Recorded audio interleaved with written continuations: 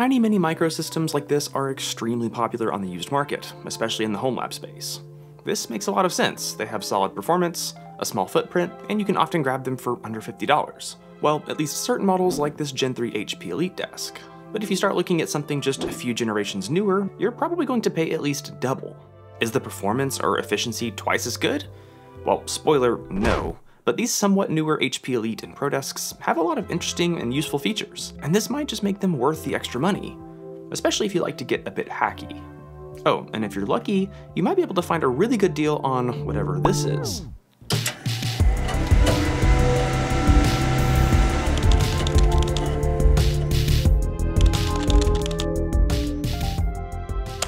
Whether you're using one of these little PCs as a desktop, a home server, or something else entirely, chances are you'll eventually run into a situation where having a solid VPN service comes in handy.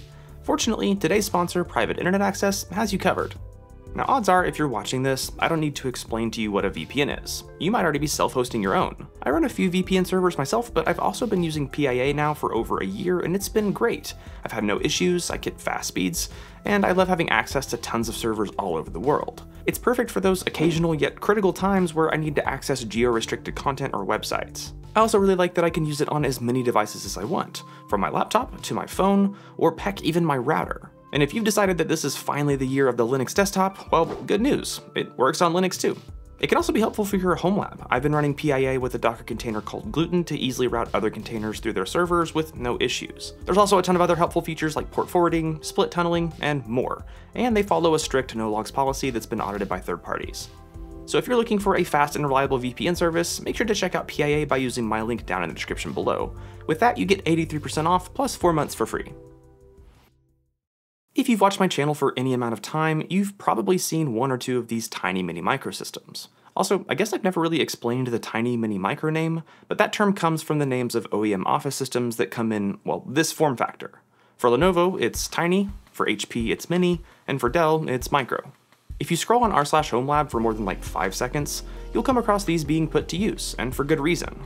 As the name suggests, they're small, and they're typically very efficient, and since they were designed for businesses and enterprises, they often come with some helpful features, such as options for remote management. You can also find great deals on these on sites like eBay. For example, this HP Elite Desk G3 Mini with a 6th gen i5 can probably be found right now for under $50. I've used this thing a ton on the channel because it still works great for tons of applications, but this is pretty much the most modern tiny mini microsystem I've ever used, so I decided it was time to try something else out. So I picked up this HP ProDesk 600G6 Mini. Now, if you just go look at the buy it now prices, you might find listings for these well over $200. But if you're patient, you can probably win one in an auction like I did for around $150 plus $15 shipping. Unfortunately, I didn't realize it didn't come with an AC adapter, so I also had to buy one of those as well. The unit was in pretty good shape when I got it, aside from just some typical dust buildup. Fortunately, one of the other great things about these systems is that rather than having to remove a ton of screws or anything, you can simply loosen a single screw on the back to open up the case. This gets you access to just about everything, and then to get to the RAM, you can just lift up the fan. You can also loosen three screws to take off the CPU heatsink, and oh my goodness, that's a lot of thermal paste. One second. Okay, that's better. With the case opened up, it was really easy to dust everything out so that we could get a good look at what all this little ProDesk has to offer. The CPU in this unit is the Intel i5-10500T, a hyper-threaded 6-core from Intel's Comet Lake lineup. It has a base frequency of just 2.3 GHz, but can turbo up to 3.8 GHz. It features Intel's UHD Graphics 630 and can support up to 128GB of DDR4 2666 SODIMM memory, although my system just came with 16GB. The inside includes two NVMe M.2 sockets that both support PCIe Gen 3x4. There's also an M.2 eKey socket for the included Wi-Fi card that supports one lane of PCIe Gen 3. Now there are a few more useful features on the inside, but we'll come back to those here in just a minute. On the front, you get some pretty standard I.O., with two 10 gigabit per second USB ports, with one being Type-C and the other being Type-A, and then you get another Type-A 5 gigabit per second port. There's also a combo audio jack and the power button. On the back, you get two DisplayPort 1.4 outputs, a handful of 5 and 10 gigabit per second USB Type-A ports, a gigabit Ethernet jack, and the DC barrel plug for the 19 volt power supply.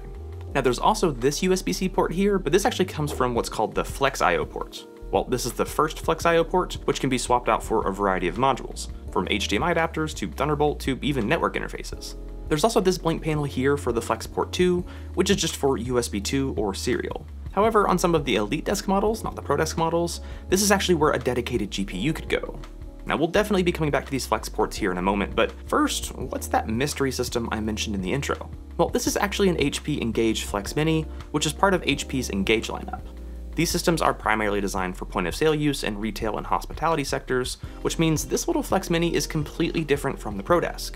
Sure, they share the same form factor, they have the same I.O., they look nearly identical, but Okay, yeah, from what I can tell, this Engage Flex Mini is basically the exact same thing as the ProDesk, aside from just a few small details. First, there isn't a product name on the front of the case, also the Engage system doesn't include a Wi-Fi adapter, and the motherboard is a slightly different revision, although really the only difference I could find is that the VRMs were soldered into slightly different places, but the number of the VRMs was the same on both.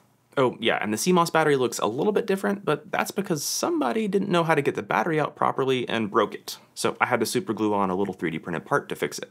So yeah, these two systems are pretty much the same, except the Engage came with 8GB of RAM and an i3 10100T. This CPU is similar to the 10500T, but only has 4 cores and 8 threads, a higher base frequency, and half the cache. Now, I would love to say that these lesser known point of sale systems can be bought for quite a bit cheaper, but that doesn't necessarily seem to be the case. In fact, it seems to commonly be the opposite. That being said, I did buy my Engage Flex Mini for just $160 plus free shipping. Now that's not that much cheaper than the ProDesk, which also has better specs, but I did win the ProDesk in an auction, whereas with this system, I just bought it using a buy it now listing. There aren't a ton of these point of sale systems on the market, but it's still possible that you might be able to come across one and find a good deal in the future, and pretty much get a ProDesk. It's no silver bullet for getting a good price, but it is one more option to be aware of when you're out there searching for good deals. Now there's also the option of getting an Elite desk, which I've mentioned a few times now. From what I can tell, as long as you don't go for one of the GPU-equipped models, these are very similar to the ProDesk in terms of core features, but they might come equipped with higher end CPUs, and therefore more power phases, and I think even a mesh lid to help with thermals. There also might be a few more helpful enterprise features that only work with the Elite desks, but sadly I can't say for sure. I did buy one, but it's taking a long time to ship, so at least at the time of filming this, I was only able to test these two systems here. If the Elite Desk does get here before I finish editing, I'll make sure to note anything important. As I hinted at in the intro, the performance on these isn't mind-blowing or anything, so I'll just go through a few benchmarks really quick. I tested both HP G6 systems, and also grabbed some results from other systems for comparison. First, that EliteDesk 800 G3 Mini with an i5-6500T, and then also this Kamrui Mini PC with an Intel N100. In Cinebench R23, the ProDesk with its 12-core i5 was clearly the best when it comes to the multi-threaded benchmark, but when it comes to single-threaded performance, the improvement from the older HP Elite desk isn't insane. This pattern is pretty similar here with Geekbench 6 as well. Also, sorry that I don't have the N100 numbers for this one. Moving on to system power draw, when just sitting idle in Windows, the newer HP systems performed the best. Granted, all four systems were within just a few watts of each other. I also tested idle power draw in Proxmox after running PowerTop AutoTune and the Auto ASPM script, and with no display connected. Here, the older EliteDesk actually performed just a hair better. When running the multi-threaded Cinebench render, most of the systems had a fairly consistent total power draw, but while the ProDesk eventually sat at around 51 watts, it initially jumped up to 72 watts while the CPU boosted to a higher clock frequency. When looking at just the sustained power draw, the Engage and ProDesk systems drew quite a bit more power than the other two, however, they both performed better as well. If you divide the Cinebench score by the total wattage, you can sort of get a points per watt metric, where the higher the number, the more efficient the system is. And here, well, the N100 system takes the lead, but we can also see that the older Elite desk falls quite a bit behind in terms of efficiency. Now, I was a bit curious why the 10100T didn't have a similar turbo boost behavior to the 10500T, and I wasn't quite sure if that was due to the CPU or the system it was in.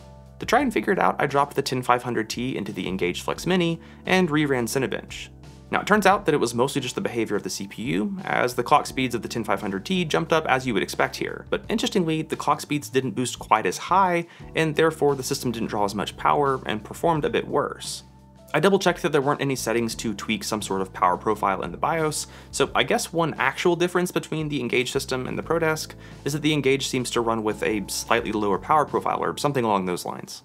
Now that's really it for all of my benchmarks and such. If you're really curious to learn more, I highly recommend checking out the Serve the Home website. They have a ton of in-depth reviews and benchmarks, so you can really see how a variety of these tiny mini microsystems perform. I think for the most part, these systems can all handle typical home server or desktop workloads just fine. So to me, what really sets these newer systems apart is the I.O. The EliteDesk G3 Mini and many other systems from this generation typically have one NVMe socket, a SATA port for a 2.5 inch hard drive, and then an M.2 E-key slot for Wi-Fi.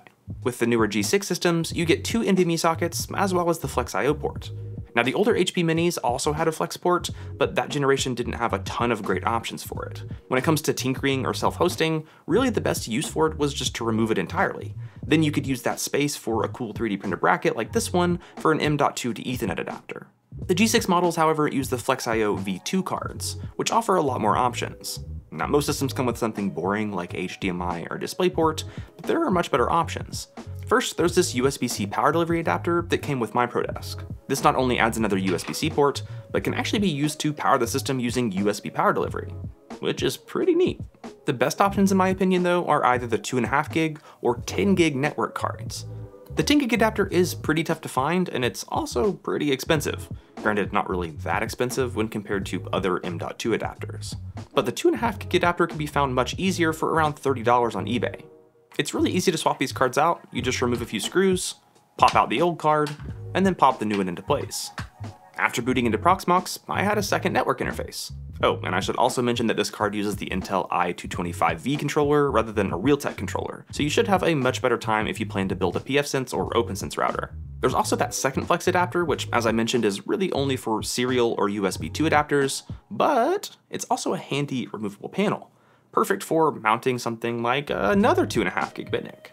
Since I still had that E-key socket available, I picked up this E-key to Intel i226V 2.5 gigabit adapter. I found this great model online from John Douglas, but it wouldn't quite fit my adapter, so I used it as a starting point to make my own, and ended up with this. It printed out in just a few minutes and was super easy to screw in place.